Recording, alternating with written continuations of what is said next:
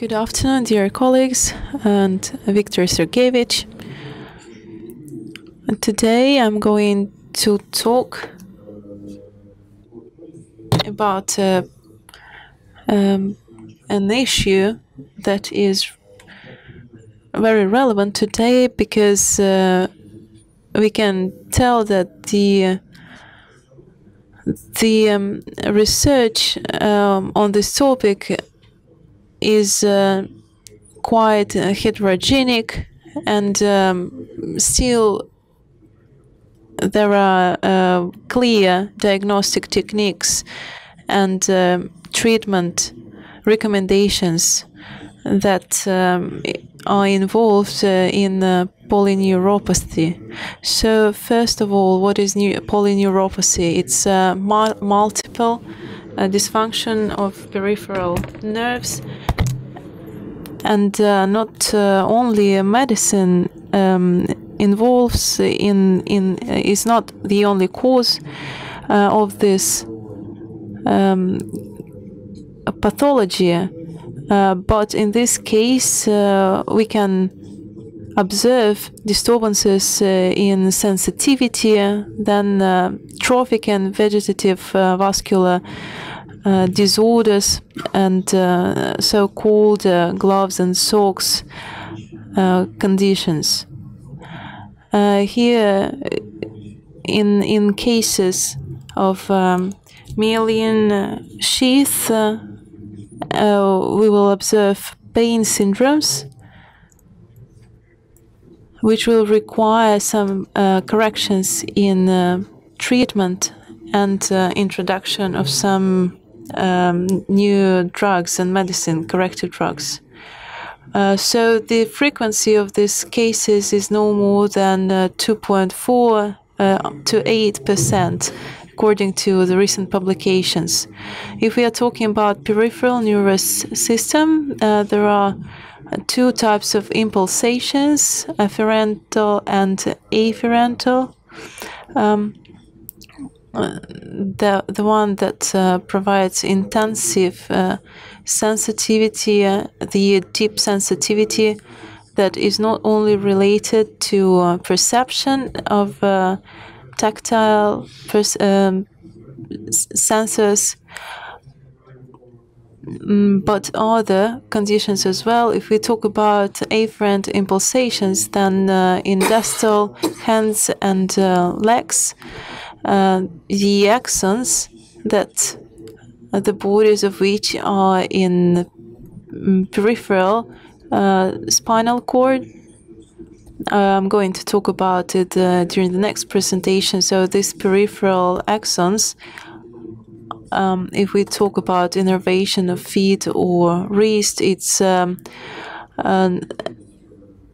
it is as long as uh, one meter.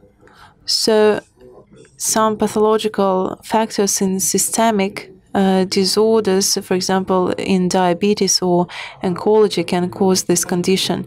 As we talk about central, um, we central per peripheral nerves, then we'll talk about um, increased uh, muscle tonus.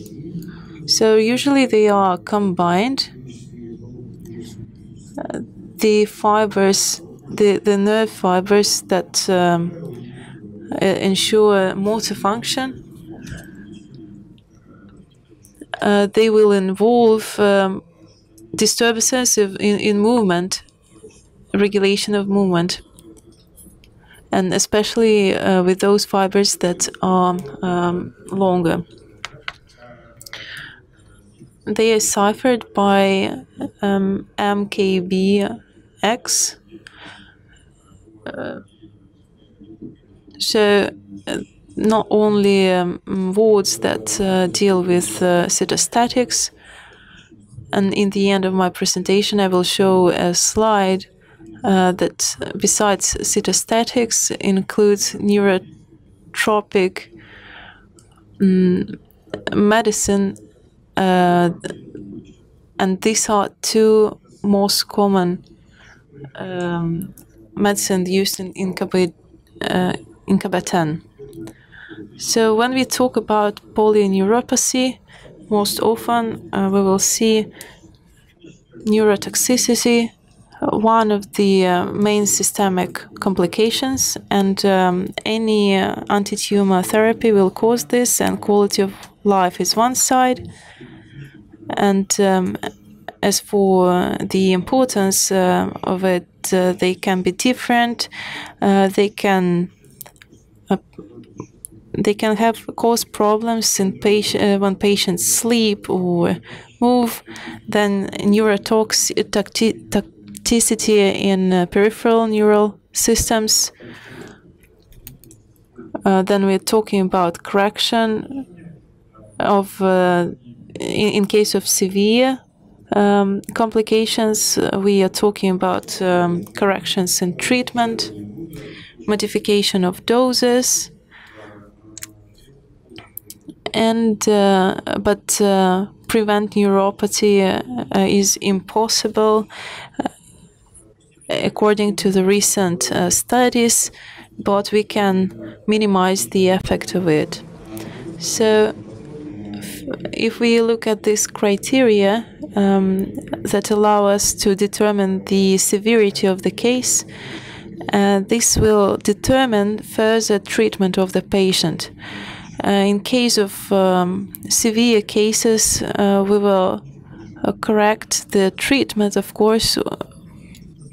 As for cytostatics, when we talk about uh, medicine-induced polyneuropathy, uh, Uh, that was caused uh, by anti-tumor uh, treatment, the number of drugs increases every month, every year, and the regimen of treatment change. And um, they they have different types of toxicity, toxicity. So chemotherapy is used as an anti-tumor treatment, but it also causes some neurons. It has neurotoxic effect it uh, affects uh, protein uh, generation, receptor genera receptor activity too. So the mechanism of action show is shown on this slide. There is this this disruption. Um, it's indirect, related to vascular disorders and uh, psychosomatic disorders, as well as infections, and uh, myelosuppression. Another uh, disturbance that manifests itself um, in case of uh, invasion, uh, invasive tumor nodes, uh, invasion of tumor in uh, nervous uh, fibers, meta metastasis. It's not very common, but it's relevant too. And also, a situation uh, may involve the influence of all these factors. So, the high risk uh, is linked to um, heredity, hereditary and um, acquired polyneuropathies than in patients with uh, diabetes We also noticed that patients with uh, diabetes are more prone to ischemia uh, polyneuropathy. Uh, if they, for example, so plexipathia can be manifested, maybe quite prominent uh, in in these cases uh, as well as um, alcohol consumption and also early injection of uh, neurotoxic drugs. Besides, high risks to uh, of uh, peripheral nervous system uh, failure disruption is linked to um, cytostatics use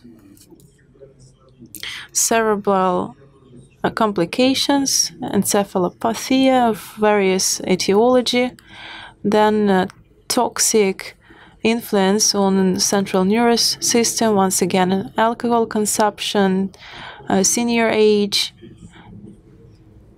and the contraindication is also uh, the period of one to three months after the the onco treatment.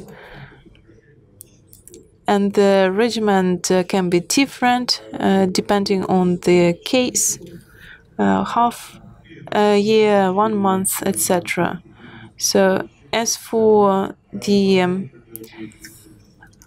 progress of the disease, uh, they can be different. It can be different distal, uh.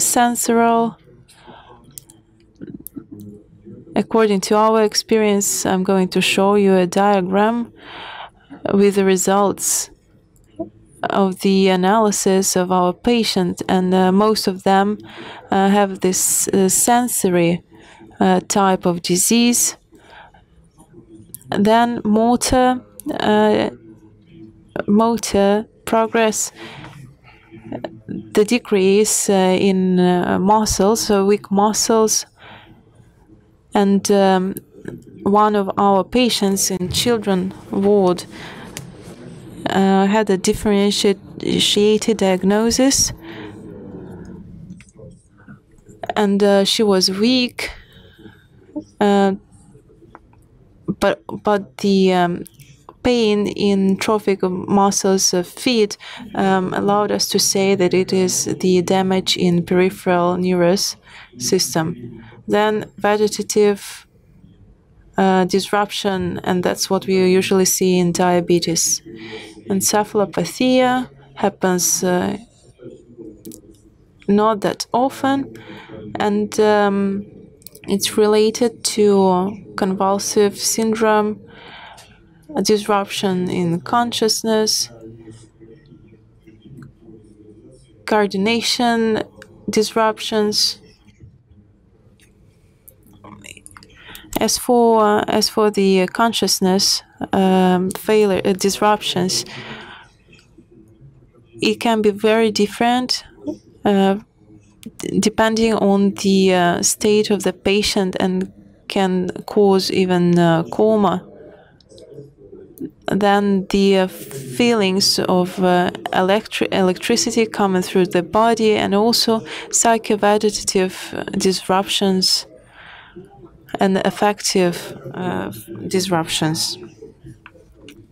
The factors that uh, influence neuro neuropathy and um, we don't have much time left, so now we are preparing methodic um, books about the uh, uh, the causes and the neuro uh, neuropathy. Then uh, here um, we will offer you recommendations. Neuropathic uh, pain is one of the clinical manifestations, and um, for, uh, for these patients, non-steroid uh, medication is not very relevant. It has a, a, a little bit different uh, way of uh, action, anticonvulsants are better in this case. Vegetative uh, disorders. In oncology, uh, the uh, medicine that is most uh, the most relevant in this case uh, on this slide, and now we see that there are radio radiation disorders uh, especially in radiation of uh, uh, pelvic areas and um, pain uh, disorders uh, are very difficult to treat in this case, and this is the problem that requires uh, more research and data um, to choose the relevant treatment. The methods of diagnosis to verify the process, it's clear that uh, clinical anamnestic uh, connection is very important. As for electrical diagnosis, uh, it's important in patients with diabetes. Up to 90% of um, cases is uh, up to by 90% of cases in these patients uh, the um, diagnosis uh, is given in a more accurate way so but if there is polyneuropathy uh, it's not necessary to uh, provide this type of uh, test neurospinal tests uh, liquid is important to take in case of biopsy of nerve and functional probes uh, pharmacological and physical factors are used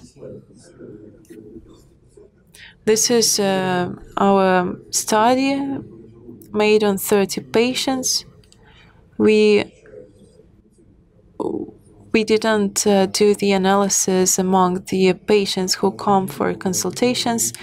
Uh, we then studied the outpatient uh, patients, and we see that uh, the the most common complaint is uh, the sensory manifestations or combined neuropathy especially um, in those cases when uh, patients are not treated, do not have any aggressive ways of treatment, um, anti-tumor treatments. Uh, these are the medicine that can be involved in the treatment of uh, polyneuropathy. Peripheral nervous system is uh, the type of uh, um, areas of the body that are very stable, so it's very difficult to to treat. But if we uh, see this type of manifestations, so uh, this requires a lot of attention and uh, choice of treatment. As uh, for the uh, uh, medicine, this vitamin B, group B, Combilipen, Combilipen Tabs, that's what we use. Uh, uh, short-term therapies. Uh, it can be given in the first days of treatment in pills. As uh, then, according to re recommendation, uh, we use alpha, alpha um, acid it has two forms, injection form and uh, pill form. We see that even the patient uh, with uh, um, weak manifestations of uh, sensitivity, insensitivity, uh, they can be given uh, the the medicine even with um, Mm, um, this is the recommendations. 107 form of uh, convalescent, convalesce. So this is the optimal form. So that uh, patients would tolerate the dose better, and there is a gradual uh, increase of the dose. The maximum doses in our case uh, show that pain manifestations are minimal in their incidence, but uh, here you see a diagram that pain uh, syndrome neuropathic uh, medications is uh, neuropentin or alpha-lipoic acid, which can be recommended to the patients in peripheral system disorder.